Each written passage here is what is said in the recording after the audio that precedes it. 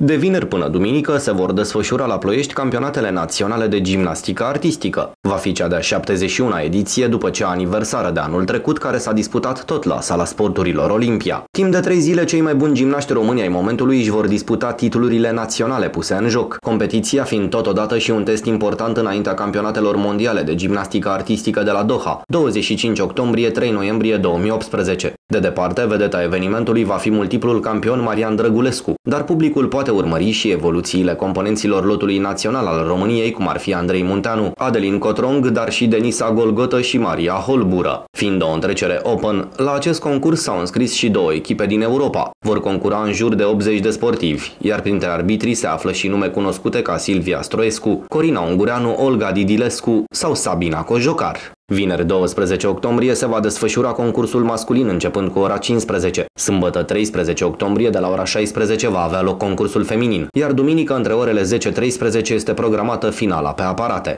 Intrarea spectatorilor la această competiție este gratuită și organizată de Federația Română de Gimnastică, Ministerul Tineretului și Sportului, în parteneriat cu autoritățile locale și Clubul Sportiv Municipal.